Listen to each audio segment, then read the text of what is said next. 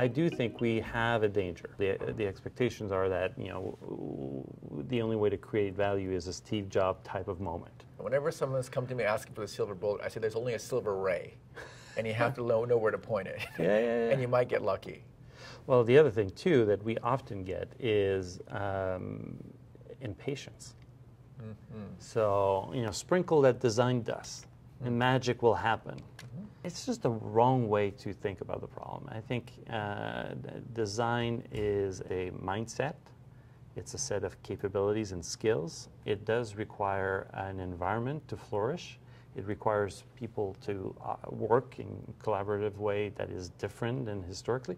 So just thinking that it's sprinkling a bunch of magic uh, design dust and you're quickly going to get to a, a, new product, a new experience, is, is, is a bit naive. I talked a lot of the startup. Yes. And uh, I was talking to a, a CEO who's formerly a doctor. Yep. I, I, love CEOs who come up with a weird path. Yep. He's a doc, medical professional doctor, real doctor. And, uh, but he's very curious about design.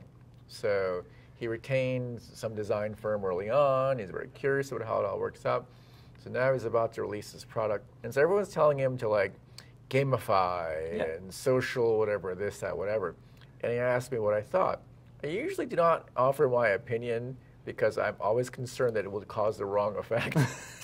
but in this case, I had to offer my opinion, which was just because you can do it doesn't mean you should do it. Yeah, you're right.